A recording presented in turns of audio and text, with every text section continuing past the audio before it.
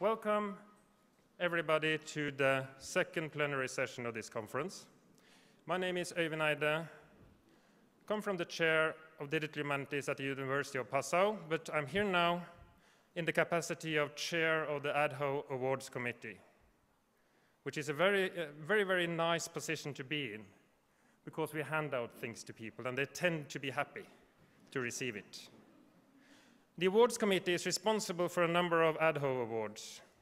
We will hand out 18 bursaries to young scholars during the banquet on Friday, which is a record number of bursaries awarded. Still, the number is far from sufficient. We had more than 40 applications this year, all from eligible young and emerging scholars with accepted papers or posters. To extend the number of bursaries further, we would very much like to receive not only donations, but also good ideas for raising funds from our bursaries. So please get in touch with me afterwards if you have ideas or cash. we also hand out two Lisa Lena Opas-Hänninen Awards in the memory of Lisa Lena Opas-Hänninen, a leading figure in digital humanities who was the chair of the European Association when she sadly passed away last year. These prizes are connected to different conferences from year to year. And this year, the first round of prizes will be handed out in recognition for presentations at the Methods in Dialectology conference in Groningen in August. Last year, Willard McCarty was awarded the 2013 Busa Award, a triennial prize in the memory of Father Robert Busa, awarded to recognize outstanding lifetime achievements in the application of information and communication technologies to humani humanities research. A call for nominations for the next prize is out now with a deadline of October the 1st. The chair of the 2016 Busa Awards Committee is Hugh Craig.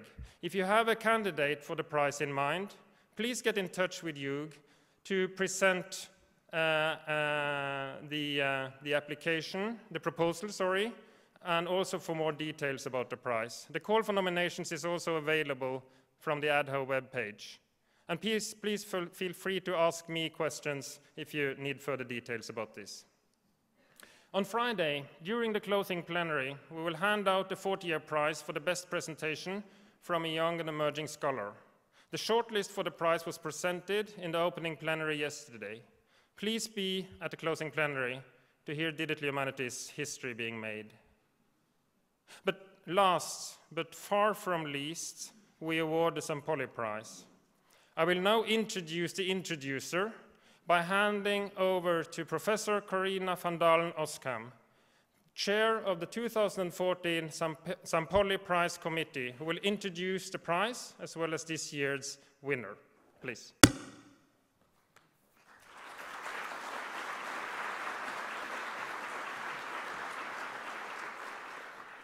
Well, as you have heard, the Alliance of Digital Humanities Organizations hands out several prizes. And you've already heard my name is Karina van Dalen-Oskam, and I was the chair of the committee uh, that selected the candidate for this year's Antonio Zampolli Prize. It is given once every three years to recognize a single outstanding achievement in the digital humanities. It is named in honor of the late Professor Antonio Zampolli, who passed away in 2003. He was one of the founding members of the ALLC, the Association for Literary and Linguistic Computing, which is now named the European Association for Digital Humanities. And as ALLC president, he helped to establish the joint conferences with other digital humanities organizations, which are now gathered in ADHO, the Alliance of Digital Humanities Organizations. Our laureate of this year is Ray Siemens. He is Canada Research Chair in Humanities Computing and Distinguished Professor in the Faculty of Humanities at the University of Victoria, Canada.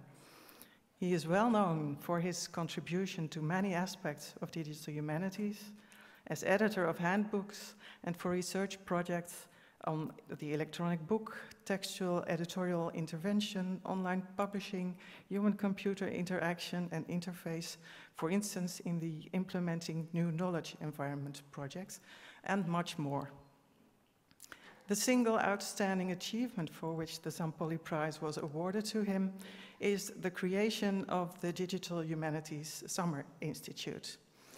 Through this, he has contributed to teaching, mentorship, and service in the field of digital humanities on a global scale. This year, the 14th edition brought together almost 600 digital humanists. Ray Siemens has been instrumental in creating a community that has led to improved teachers, to better digital resources, and to more interest in humanities computing, again on a global scale. And I gladly invite him on stage for this year's Zampolli Prize. Ray Siemens.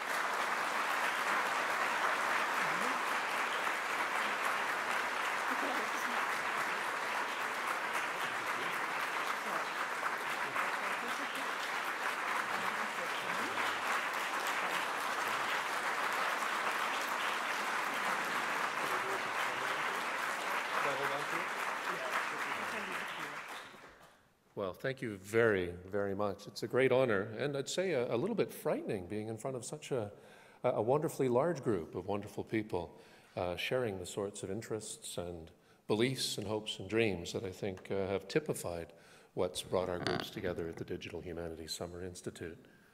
Um, my way of saying thanks uh, is to, uh, as custom is around these prizes, to, to offer you a talk uh, in the area of the uh, the award, uh, area that the, the prize is, is acknowledging. But I offer you a talk not only, whoops, not only with magic PowerPoint slides, I offer you a talk not only from myself, but also from the entire community that DHSI represents. And one thing I'd like to do, if uh, members of the audience don't mind, is I'd like to, not individually, but as a group, uh, embarrass everyone together implicated in the Digital Humanities Summer Institute. Uh, if you're part of that community, if you've been to DHSI, if you've taught at DHSI, if you've given a lecture at DHSI, if you've shown up for the free cookies but stayed for the courses, can I just ask that you stand up so we can share in this together as a group?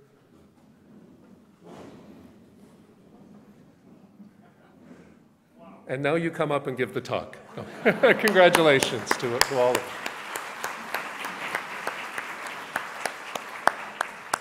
So, so on behalf of what is a large group, uh, I'd like to begin by expressing my gratitude uh, for this very generous acknowledgement of, of, what we do together when we meet at DHSI and, and also what happens at, at other like institutes, the DH Institute uh, at Oxford, at Leipzig, uh, HILT at Maryland and elsewhere, and various institutes as well that are forming, reforming, and moving around. And I know there are a number of others in the room. Uh, James is here from Oxford, Elizabeth from Leipzig, and others. Just want to thank you as well for being part of this incredible community, doing what we do. Uh, and, uh, and also together uh, working in the memory of such a remarkable community member, Antonio Zampolli. I'd like to begin with that. Um, I'd like to end up here ultimately talking about the Digital Humanities Summer Institute. And uh, if you'd like to take a peek at that, uh, we all in this community have our laptops open, our phones going. The URL is dhsi.org. And there are some things there that could be rewarding and of interest to those in our community. I'll end up there. And along the way, I want to touch on these topics, talking about digital self-determination in the humanities, focusing, as I move in that direction, on communities of practice, and talking about the methodological commons along the way. Begin with this foundation. No, no talk on digital humanities, I think, is devoid of, uh, of navel gazing, of uh, the profitable, productive kind that we seem to engage in a fair bit. And, and one of, I think, the most profitable and productive enterprises associated with are considering the digital and considering the humanities as they come together. It's when we begin to ask ourselves, how do the humanities fit? There are some key differences between the humanities and other differences, and there are some key points of disparity when people even begin to define computation when they begin to define the humanities. And being a simple, flexible person around these sorts of issues, the, the, type of definition I find most productive to work with is one where you consider the humanities, let's say it's on this side for a moment, which is a, a vibrant set of disciplines and subdisciplines that's always had a certain type of currency over time, even though we may not have called them the humanities, always changing, always reflecting, looking at the nature of the human, human experience over time from the representation of its uh, of that experience and its material manifestations, And let's say over here, just for the moment, they're going to come together in a second, over here, computation, uh, the digital, whatever we would like to call that, which itself has methods, approaches, technologies which are changing all the time. When people typically talk about these two things uh, in a group outside of our own, people think, oh yes, computing is changing all the times, but they make the assumption that the humanities are staid and solid and have always been that way, and it's just not the truth. These are both very dynamic enterprises, and what's most interesting to me, I hope to members of our community, is when we see those things coming together. Two dynamic points of view, two very dynamic sets of approaches, methods, and content that are meaningful, not only to us, but to the society we serve. That point of intersection is, I think, most valuable way, from my own perspective, of looking at, uh, at what digital humanities is and where our ideas and our work together sits. Even so, I find when we talk with other groups, we not only have to define what the humanities are from whatever perspective we may be closely associated with or most closely associated with, and define what computing is so we can talk about digital humanities together, we also have to talk about how the humanities fit in a digital age. Uh, I'm not the only one in this room who's been involved in discussions uh, over, gosh, the past several years where, where members of other communities will come and say, we, we love the humanities, we respect what you're doing. Digital humanities is a growing, phenomenal enterprise. We will give you three positions, but they'll be in computer science. But we will be drawing on work done in particle physics. All wonderful things. But I wonder in that context, what happens with the humanities part of the digital humanities, the humanities part of humanities computing, or whatever words one might use to describe uh, what it is that brings us together. We have to ask ourselves, I think, how the humanities fit in a digital age in a way that reflects all of those in the humanities and all of those implicated and drawn in and partnered with and fully incorporated and embraced by the methods that we ourselves approach. This is a place where it's very productive, I think, to engage in the process of trying to define the digital humanities. Loosely, generally, ultimately, I think, in a forward looking, open, inclusive vision, which is what has been termed the Big Tent, where we talk about building on enumerative and word counting roots of a generation ago, continued an excellent and startling work today, but also looking at bridging and linking the past with the present and into the future we talk about remediating old worlds. We talk about embracing new ones that are created with the technologies we use. And we talk about embracing enlarging scope, privileging diversity within that embrace, looking at public outreach and engagement. We talk also about founding networks. I think our community is probably among the top in founding networks. We think that way. We're inclusive. We work together. We get together. We build method centers communities of many kinds. Whoops. Always building, always making. Sometimes countermaking or being mischievous in our making, but always to good end, I think. And always as part of this, organizing at various levels to achieve common goals. One of the many, many strengths of our community, I believe, is this. But just try defining all this, try defining it all fully, try defining it all accurately, comprehensively.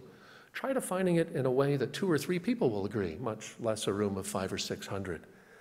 Try defining it in a way that's actionable, Try defining it in a way where you can situate your own program of research or that of your group. Try talking with your department chair about this. Try facilitating or defining it enough to be able to situate a group across a faculty or across faculties and departments, and so on. Try defining it in a way that's actionable, that is, that you can do something with it. That seems to be a very important pursuit.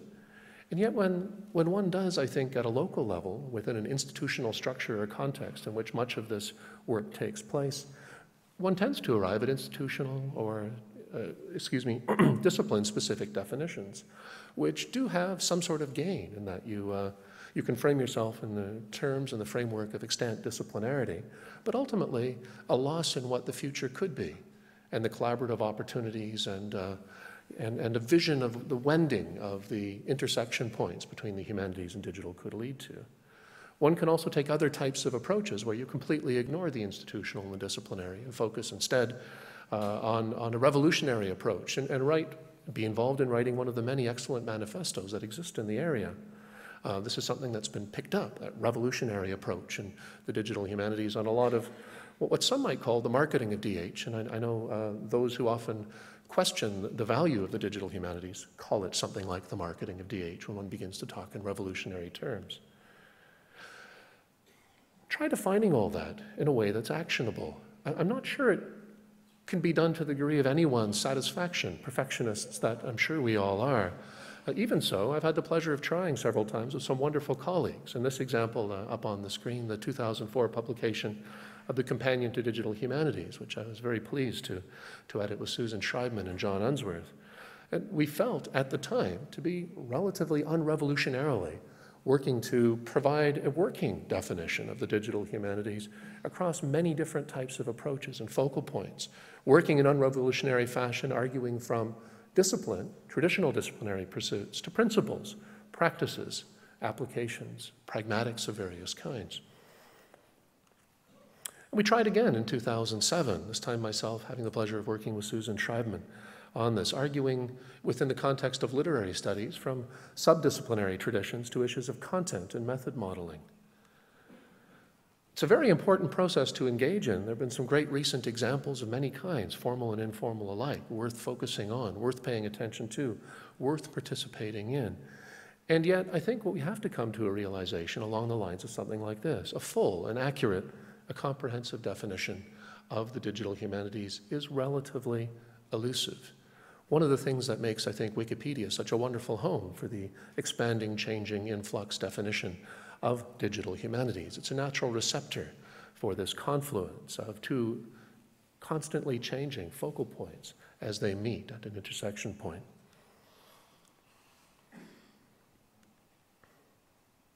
So even though we may realize uh, there will likely be a, good, valuable, appropriate disagreement on this realization, uh, even though if you'll bear with me, we may realize that full, accurate, and comprehensive definition is elusive, I do believe we need enough of an understanding to move forward.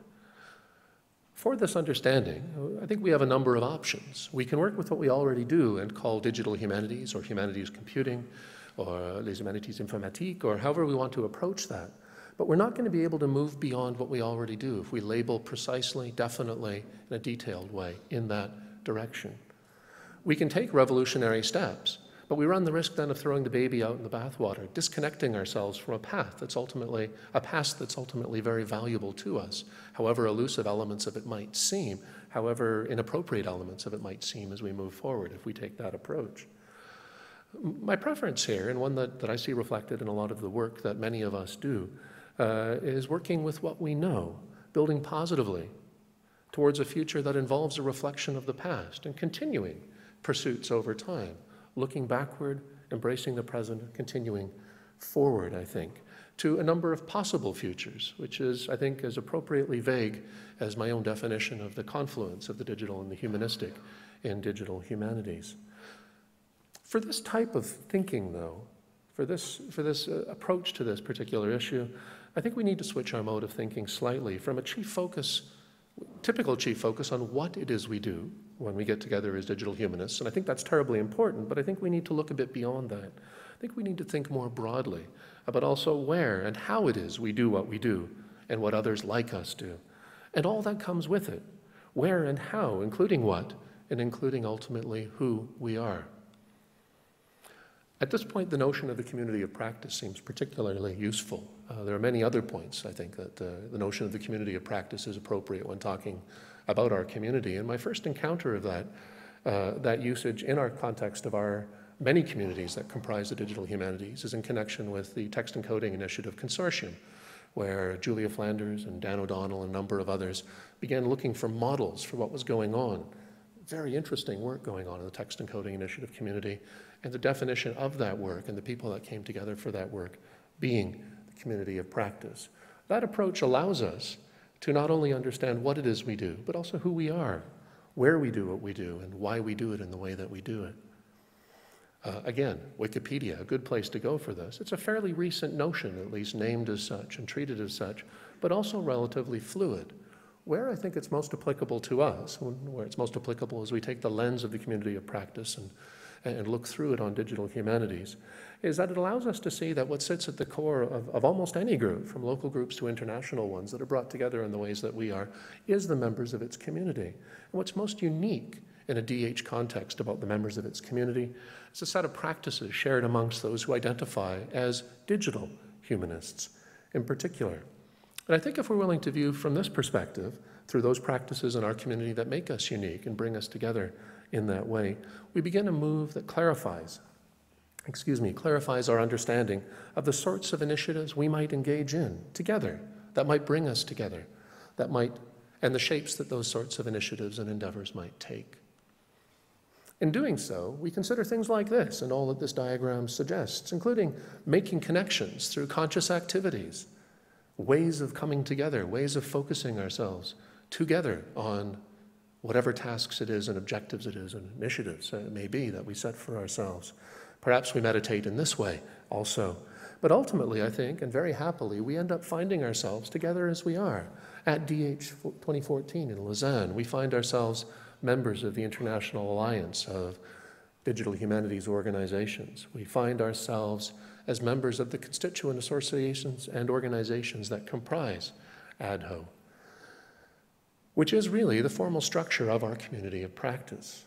It's formalized by a number of national, international, excuse me, and extranational organizations, uh, manifest as what are called constituent organizations in ADHO, and ADHO's focus on, since conception has been on uniting our constituency as individuals in these larger organizational structures and ultimately providing the sort of infrastructure, the sort of opportunities, the sort of um, uh, opportunities that, that bring us together to allow us to do the sorts of things that we all do, even as the communities in which we work at local, regional, and national levels and extranational levels change, morph, evolve, even as the technologies change even as our predilections about the work that we're doing changes, even as our disciplinary homes for many of us change, some quite revolutionarily over time. So, what sits at the core of any group like ADHO, to, to flip an earlier notion of community of practice around a little bit, is the members of the ADHO community. What's most unique about those who are in the constituent societies uh, constituent organizations that make up ADHO is the set of practices that we all share as we identify with each other as digital human, humanists of, of various kinds. And if we view ADHO from this perspective, I think we can see, we can begin a move that highlights ADHO's own role in the digital humanities and in also the methods, the practices that bring us together and that we apply together on the work that we engage in. I'll come back to this point in a few minutes. The community of practice, uh, at least in my experience in the digital humanities, has never been divorced uh, from the notion of the methodological commons. If we're willing to view ADHO from this perspective as a, a point, uh, a group that brings together our community of practice or communities of practice across constituent organizations based on the methods, processes, and practices we have, if we're willing to understand ourselves in this way, the notion, I think, of the methodological commons, uh, common in our community, um, that encapsulates our practices is very valuable for us to consider. Not only in the context of our work now, but our work as we imagine the future, whatever the future might be. Methodological commons has been described, discussed, and envisioned for about 15 to 20 years by my recollection in our community. Uh, the images I'll show you are just some that you could find if you Google this term. Um, most common, though, most used, I believe, is, is this one um, a rough intellectual map for humanities computing, which I borrow from, from short, uh, from a report of 2002 called Mapping the Field to ALLC. Here we see the methodological commons imagined uh, visually and graphically best as a, a series of evolving convergence points, not just the digital and the humanities, but many different disciplinary groups, which one finds in one part of the diagram coming together via a series of, of, uh, of direct, indirect, crossing uh, arrows uh, with clouds of knowing, which we find in another section of the diagram, all converging on the central things, the central objects, if you will, that our community interacts with. Data of various kinds, modeled processes, programs of various kinds, which sit together, mapping and modeling our data, our process in the center of the methodological commons. Um, the nature of this assumes uh, different types of disciplinary focus over time, of course, but we find examples, I think, well illustrated here. Um, and in typical fashion, uh, this changes over time too. Here's a more recent one from 2006, distributed on Humanist. This approach allows us to identify I believe, with, with some accuracy, the sorts of trends as we look back, the trends that we can encounter now and imagine being prominent in future. Largely, the methodological commons is focused on disciplinary and extradisciplinary interaction around modeled data derived from analog and other sources, and modeled process, which we, we, uh, we prototype, if you will, in various types of programs that enact our analytical and other sorts of processes on that data, drawing on it. We do content modeling and process modeling, but I would also suggest in here we also do communication and dissemination modeling of various kinds. Um, these are the areas that we focus, and specifically in these areas, and I'm not telling any of our group anything that we don't already know, the sort of thing we tend to watch are increasing access to, to large data in widely usable formats. In terms of process, we, we, we notice an increased familiarity amongst our colleagues and those beyond the, uh, the expert communities in which we work uh, with analytical processing of various kinds, tools that work across disciplines, for example, work across disciplinary data sets quite readily and amalgamate and allow us to do more than we've ever done before, allow us to test ideas in ways we've never tested before. One of the wonderful things we do as a community, I think, is in and around this.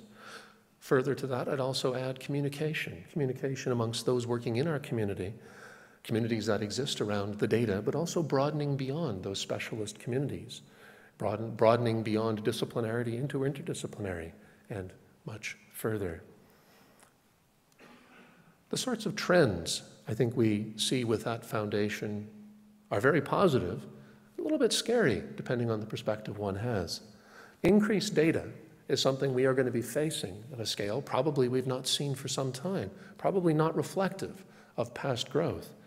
Also, incorporating new methods of data generation, including socially based or crowd methods, but perhaps well beyond that.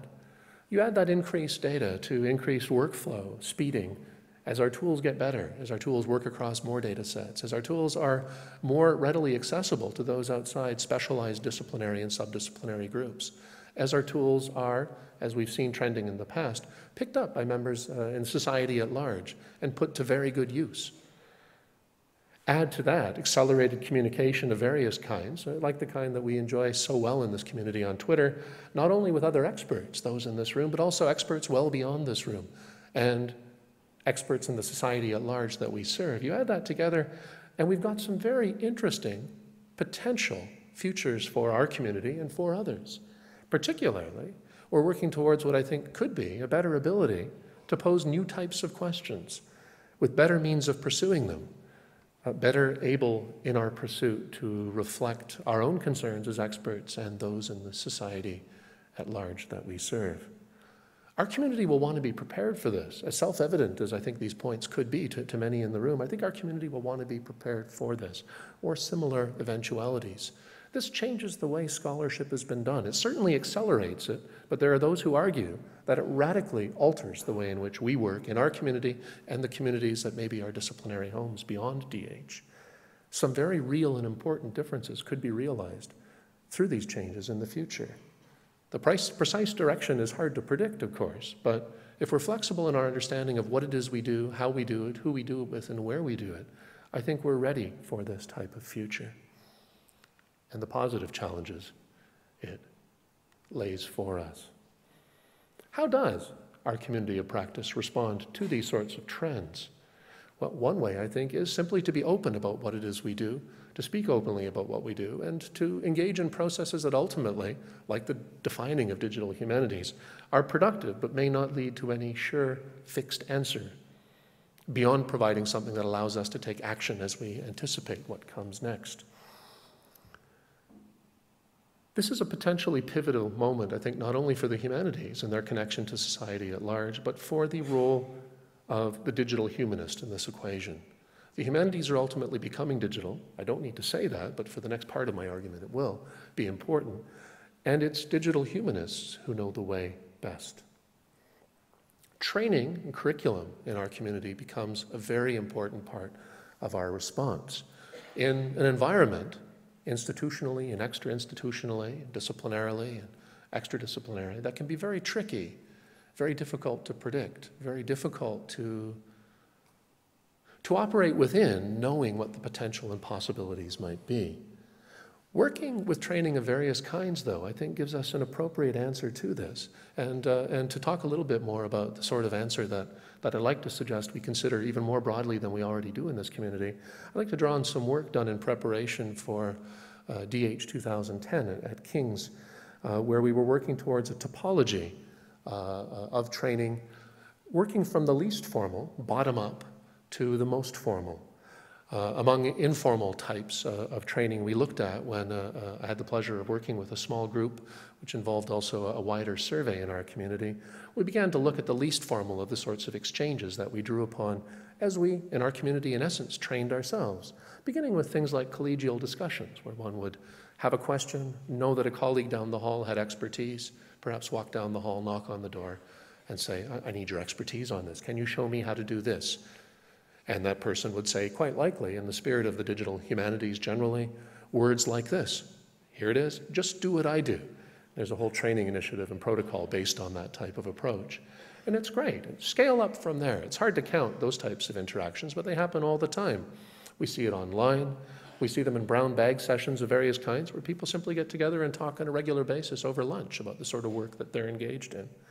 Moving there into formal consultations and up to regional, national, and international skills-based workshops.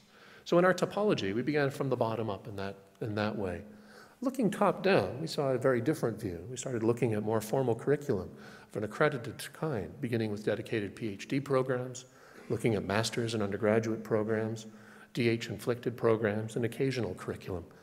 Um, and we imposed over that, after working with members of our community and talking about what seemed important about that, that type of topology, what value should we, we put in that attribution, we looked at things like institutional and field legitimacy. We looked at enrollment numbers. We looked at cost of delivery. We looked at formality of offering. We looked at ease of establishment and implementation, and we looked beyond that to agility with respect to developments in the field. If our field is moving quickly, agility is something that's very important to have in, in any sort of formal fixed structures we have, as well as those which are less formal. We ultimately came up with something looked like this, uh, something that looked like this, where you see the formal, more formal things represented uh, closer to the top, the more informal represented closer to the bottom, and you find the factors that we were working on in this research uh, listed just off to the right, um, varying in terms of, of higher and, and lower um, excuse me, lo lower possibilities. So for example, a dedicated PhD program is much more higher, uh, much higher in terms of institutional legitimacy and formality, also higher in terms of per person costs. Um, whereas collegial discussion and online networking, for example, are much higher in terms of the approximate numbers that one can train, the ease of implementation, and uh, the clear agility. One of the great things about informal discussion, uh, uh, if we call it training, is that you can change your mind on the fly as the version of your program changes or whatever it is you happen to be talking about. Uh, we, we then began to, to look for patterns in here and ultimately, as a group, focused from the perspective of intervention, where we should spend our time. We focused on a sweet spot that we found ultimately sitting somewhere between occasional inflected curriculum and regional national skills-based workshops. This was revelatory to us uh, four to five years ago. We hadn't expected uh, the results of our research to point in this direction. What we'd actually expected was we would see a lot more, more formal type of training, more PhD programs, more master's programs. So what we were finding was people were focusing on this sweet spot in the center, in and around the workshop model. For us, we took that back to the Digital Humanities Summer Institute uh, advisory group uh, constituted in a very informal way uh, about 14 years ago. Uh, we're entering our 15th year in 2015, and we asked ourselves a number of the questions that had been part of our research focus uh, for the enterprise I just spoke about, and decided that we would reinvigorate or alter, if you will, the course of DHSI and the way in which we were doing things to match that model, to focus on ease of agility and implementation, uh, focus also on the number of members of our community we could work with at any one given time, and also begin looking beyond what we were doing locally at University of Victoria to, to the big world represented in our community of practice by, by the constituent organizations of ADHO and ADHO itself. One of our responses to this at Digital Humanities Summer Institute was to what we said work the sweet spot up, that is, focus on on where the most ready point of intervention was for us and begin to move into, into accredited curriculum and ultimately towards master and doctoral sorts of programs from a training perspective, while not losing uh, the agility and, uh, and the flexibility we had with the way the workshop had been run, our workshops had been run at that time. With a focus on blending formally directed and participant driven curriculum in an accredited framework. Some of you will know about Digital Humanities Summer Institute that we offer training in rudimentary, not rudimentary, uh, basic digital scholarly pragmatics um, and, uh, excuse me, um, and, and, essential skills. And then we layer that up. And each year we put out a call for proposals for those who would like to teach the sort of work that they're engaged in and expert in. Um, this is how we ensure that there's participant driving uh, of, of, the curriculum we offer. And every year we offer as many of those courses as we possibly can. At the same time as participating in that sort of development and growth, we began looking for ways to, to work with others, to bring them into our community, to bring them to Victoria, to bring them more broadly than Victoria into the sort of training that we were doing, into our community of practice, if you will. Uh, we've been very, very lucky in working with a number of sponsors who I'll show a slide of that wonderful group in just a moment, uh, to the end of ensuring that we're operating and working in that way. Same time, we as a group decided we were going to continue a, a slow and steady development of the accreditation model, which I'll speak up, uh, about more in, in just a moment, and looking more broadly to an informal network of digital humanities institutes and other sorts of curricular offerings. One of the positive results of this was coming together in an ad hoc proximate international training network consisting of these partners and more, um, where we, in essence, came together informally and just asked ourselves and each other, what is it we do? How can we work together? How can we share our foundational courses? How can we share the expertise that's building at the expert and intermediate levels? And how can we ensure that it's distributed temporally, geographically, to members of our constituency who are most engaged in what it is we do? working within and among members of the DHSI partner network uh, and well, well beyond, working not only with institutions and say uh, faculties and departments within institutions, but also research centers within institutions, working with also large research programs, working with large agencies beyond ADHO, but definitely including ADHO, including constituent organizations like the Canadian DH Group uh, and also ACH, but also having a pleasure of working with groups like HASTAC, Modern Language Association, working with the Canadian Federation, uh, Interdisciplinary Canadian Federation of Humanities and Social Sciences, uh, and with our funding agency, the Social Science and Humanities Research Council of Canada, and ultimately working towards, in that context, a graduate professional certificate in the digital humanities, which draws on, I think, the best of what it is we do at all the training institutes in our informal network and those, those beyond who, who are not yet working with in that way, uh, and allows one to take five of these types of courses and receive a certificate for them in a way that we haven't been able to do before. Some of them having to be taken at Victoria, which is the institutional home for this particular offering, but we hope that this will be something we can share with others and, uh, and incorporate others in long term, especially em embracing, I think, the ad hoc proximate network of digital training institutes of the sort that we are. Next steps also have been working towards a formal ad hoc network. And I have the pleasure of saying that after two years of formal and informal consultation in this vein, uh, at the meeting of the ADHO Steering Committee yesterday, we were given leave, permission, empowerment to, uh, to initiate a formal ADHO uh, adjacent and sanctioned network of digital humanities institutes. And this is a really positive step forward, I think, for us. Um, as we were leading to that, some of you will have seen that we sent around a questionnaire asking if we were able to do this sort of thing, what sorts of issues should we be embracing and engaging first off?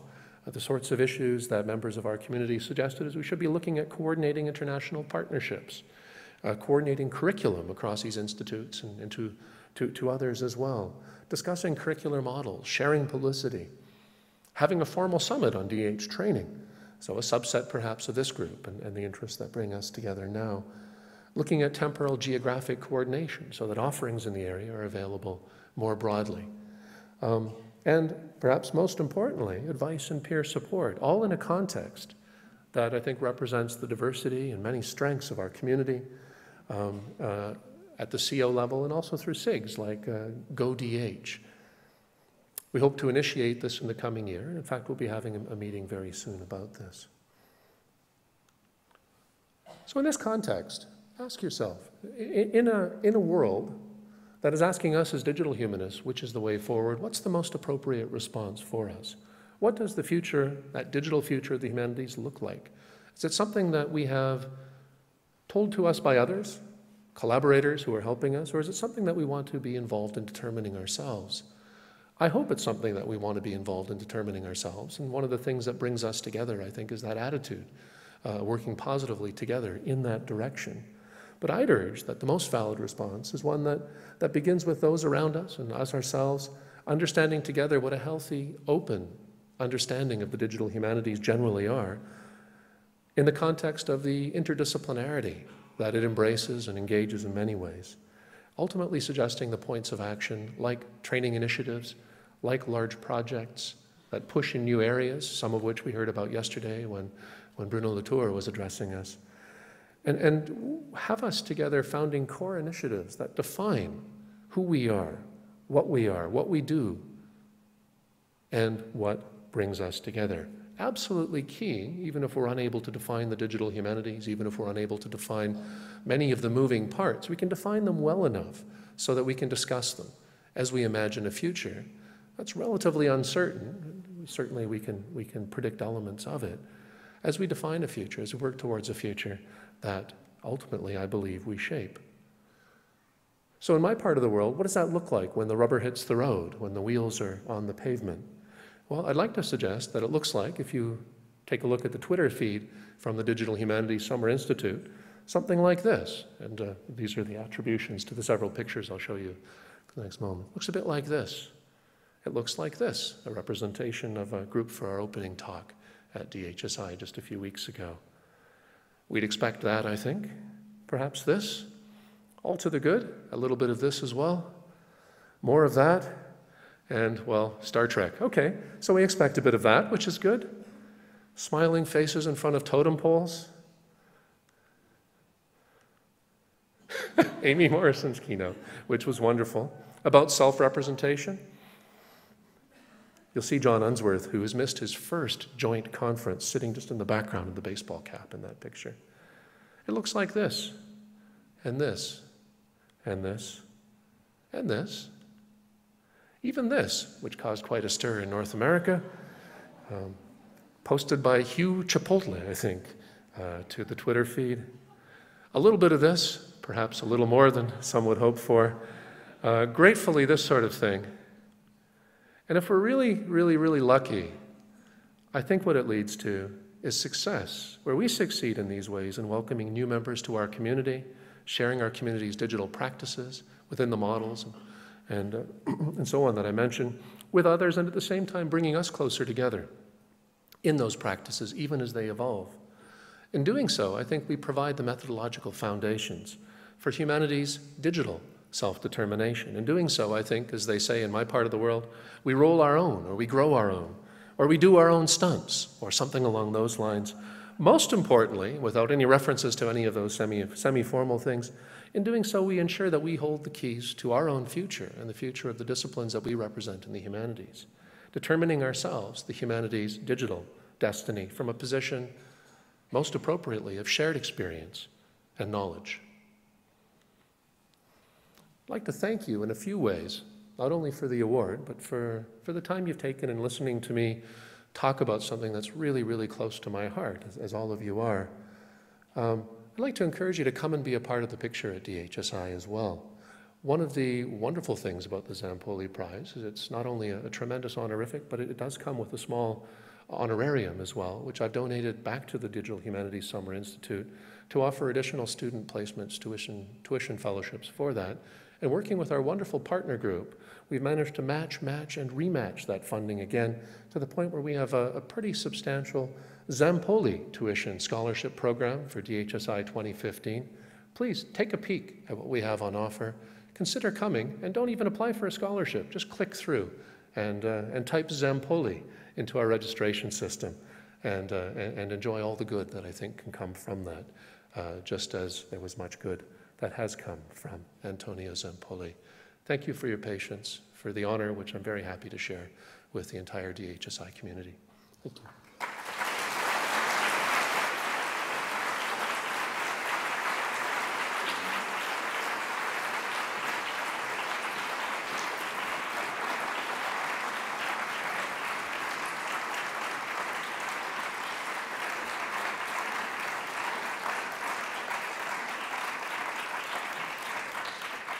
Well, thank you very much, Ray, for this inspiring talk. And we have plenty of time for discussion. And we have to think of running around with a microphone in this larger room. So, who can I give the word?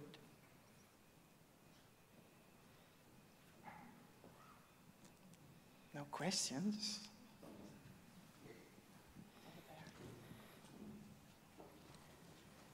Oh, Sorry, next. Yeah. Thanks, Ray. Thanks, Um. As a uh, longtime uh, member of the DHSI group, uh, I thought you might uh, be able to share a few words that might be useful to this gigantic group. Um, in what we all, or what many of us worried about at DHSI, of the swelling of the group ruining the nature of the group. And I, I wonder whether you have any, any reflections that might be useful for this group um, in what, what seemed like a surprisingly successful expansion at DHSI, uh, when some of us were a little afraid that going from 80 to 600 might be a, might be a stretch. Oh, well, thanks for that question. It's a good one. And as David knows, David, as you know, this is something that, that we have as a group agonized over.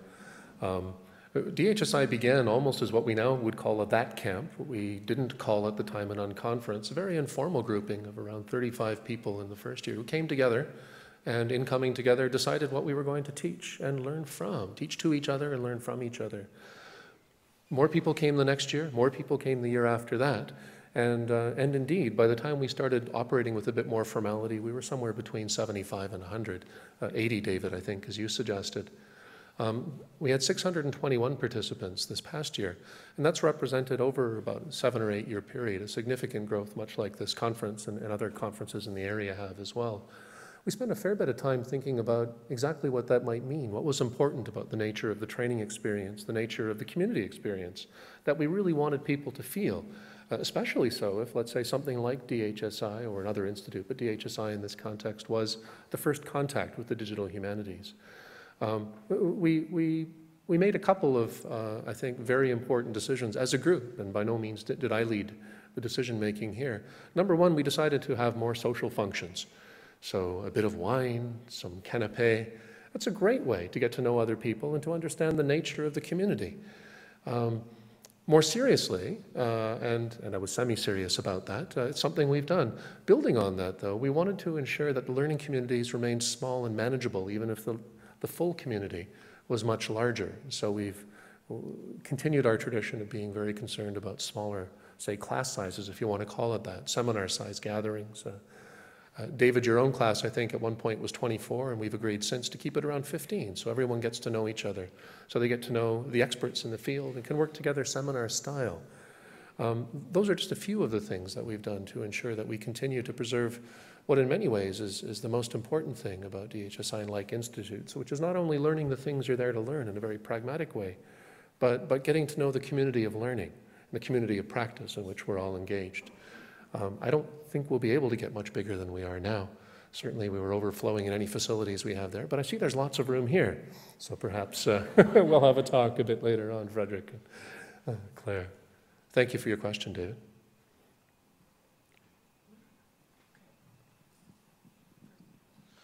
Yeah, um, uh, I have a question in light of the growth that we're seeing and what you're talking about of on the effects of uh, DH on the humanities themselves.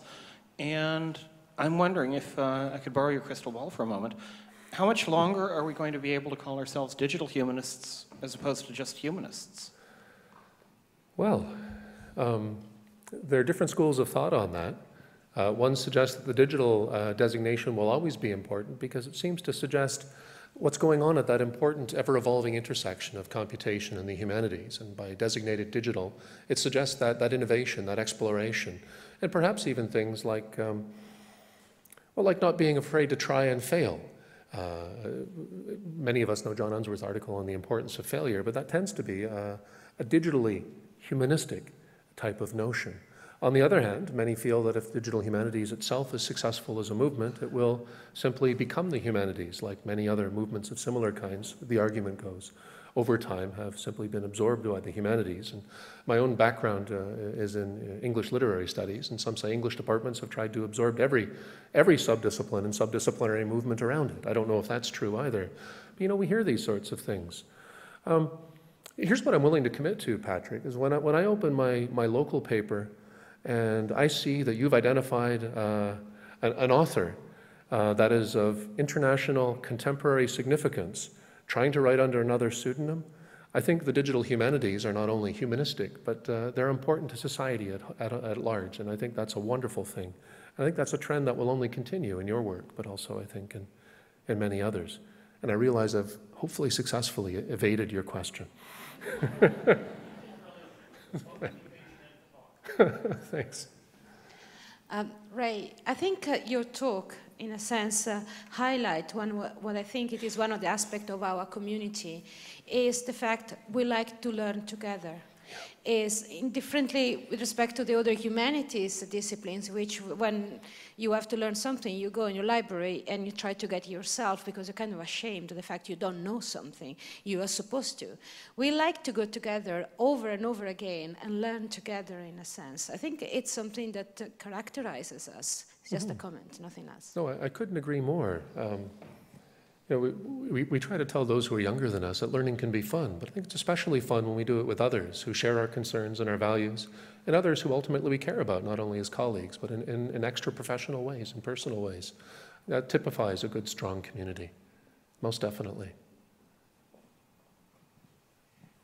Not being member of the community, I will base my question on what I have heard and I think I understood between yesterday and today. I understood that there were two possible definitions of digital humanities, but unfortunately they were at the extreme opposite of one another. One would be to def define digital humanities as a basic platform of all other sciences, the new read, write, and count of any kind of modern knowledge. And the other one is just the opposite. It is to consider it the new queen of science. Formerly it was the math. Today it is uh, the BRAIN project. No wonder Patrick Aebischer yesterday said that if the BRAIN project has one million digital humanities, you should have as much. And tomorrow will be digital humanities. And these two definitions, if these are really possible definitions, seems to me exclusive. Hmm. That is, in a way, one could become a sect and the other one could become degraded. Uh, that's a pessimistic scenario. But what do you think of that tension between these two possible definitions of digital humanities as seen by someone who is not part of the community? Well, I appreciate the perspective. Thanks very much. I must admit, I've never thought of it exactly in the way that you've termed. Um, I, I, value the perspective, and I would say just by being here, you're probably well on your way to being a member of the community. Uh, this, this morning, sorry, yes, welcome. Uh, this morning, I had the pleasure of bumping into Bruno Latour uh, at, at, breakfast, and, and, one of the things I said to him is, So, I guess this means you're a member of our community now. And he says, Well, it must be, because that's what people are telling me. So, so welcome in that way too. But you know, uh, though I haven't thought about it in, in terms that you've used, uh, that does give, I think, a very valuable perspective. Uh, I'll tell you how I've, I've, I've, always thought of it, or at least in the last few years have been crystallized. It's, it's more analogic than, than, uh, than, than institutional, uh, which is your definition. I think digital humanities is the interesting part of town where all the good and interesting ideas come from. The, the interesting ideas that shape communities around that section of town. Some people live there, like us. Uh, others visit, but it's all good.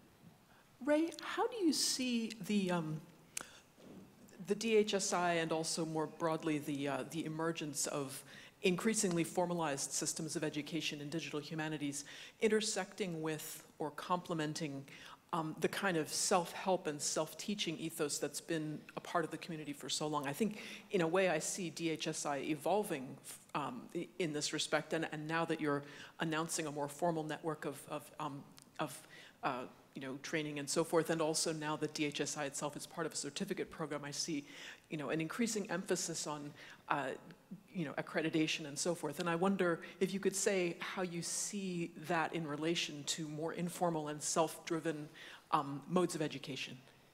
Th thanks, Julia. Um, this is something that, that we as a, a, group have talked about a fair bit, uh, those in and around the DHSI and, and those who have helped us think through elements of the more formal accreditation that that those who wish can work towards. And I think something to, to remember, uh, maybe first and foremost, is that it's that foundation, the more informal foundation, the, the desire to teach, the desire to learn, that self directed thing. That impulse is the most important thing in the context of all else that brings us together. Um, what we've tried to do to ensure that we're true to that impulse, true to that foundation, is to, to layer in optional ways on, on top of it. And so uh, going, you pointed back to the graduate certificate program, which provides a very formal accreditation model to something which is less formal at its root and at its foundation and soul. We've tried to ensure that that's more opt-in than, let's say, push out. It's, it's both and, not either one or the other. Um, that's the general approach. Uh, but I think by, by working with the community, by ensuring that we take our ideas from the community that's intended to be uh, manifest in terms of its practices and, and methods in, in, what we do at DHSI and other like institutes, I think we can't go wrong. Knowing as well that, that all these other things will take place, all these other types of training, these types of formal and informal consultations will take place regardless. But I think capitalizing and providing a forum and, and uh, a meeting point for, for the best of them. Certainly that's my hope personally.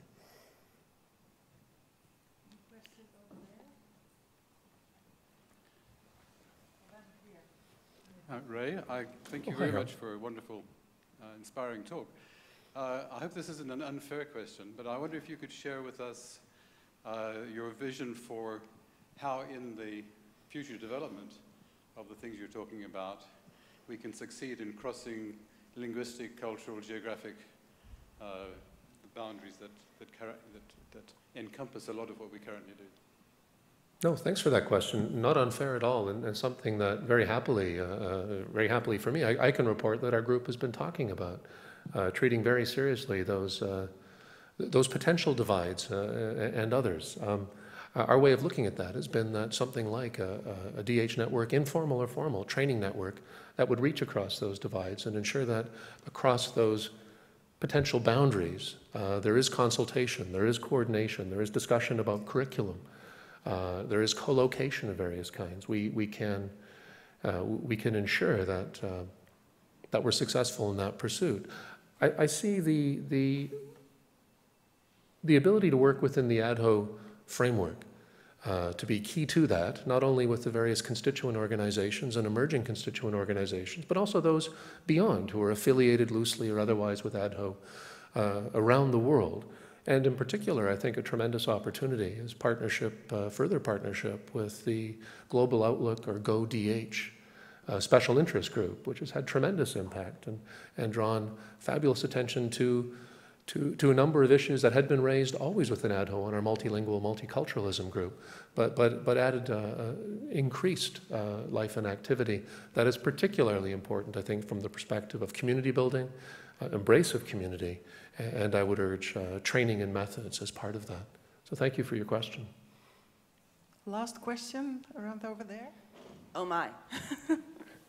um, thank you so very much for that wonderful uh, talk and definitions of many definitions of DH. And I guess following on the last question, the last couple years have been incredible in growth and new ideas and there's also been a lot of tension, and there's been a lot of pain sometimes, whether we call it growth, growing pains or Twitter wars or whatever we want to do to talk about it. And I'm just wondering from your experience, what you think that we as a community, both within and without, can do to embrace and move forward within those kinds of discourses. And I think you get what I'm asking about. Well, Stop now. I think so, and, and thank you for, for saying that. Um, my answer would be better if I were in sandals and a t shirt, but ultimately, I think what we have to do is we have to forgive in those situations um, and embrace difference and find ways of talking through difference. Um, but, but you're right, sometimes there's an escalation and manifestations that are completely unanticipated and unintended when we start using some of the technologies you mentioned, uh, reflecting the growth of our community. Um, ultimately, growth is good, but, but any growth is going to be characterized by difference of opinion, difference of types of interaction. Um, I think success for us will be defined by our ability to forgive, find ways to continue to work together uh, in, well, the profitable ways that bring us together in fora like this, but also across Twitter and Facebook and any other means. Uh, so thank you for your question. I think it's terribly important. One thing I know is that DHSI, I see a lot of people hugging. I don't know what it means, but I think it means we're a friendly group. Uh, perhaps it means more. At any rate, those are very awkward last words. I apologize for that.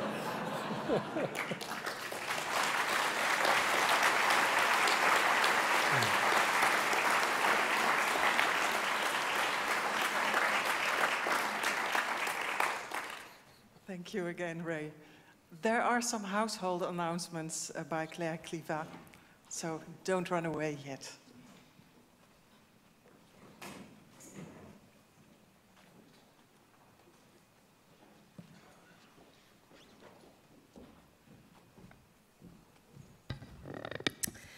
Don't run away now because you will be able to run tomorrow morning. Indeed, tomorrow morning we have our fun run with all informations on page 25 uh, in, in the brochure. And so the meeting point is at a quarter to seven at the sports center of UNIL. You have the map inside of it. So for all the sportive DHers, uh, fun run tomorrow morning. Before that moment, now, now we are taking the bus for all the people enrolled at our boat cruise. It will be at uh, past half past six, but you can already go in the bus uh, at a quarter past six. And uh, the boat is leaving about a quarter to eight in Ouchy.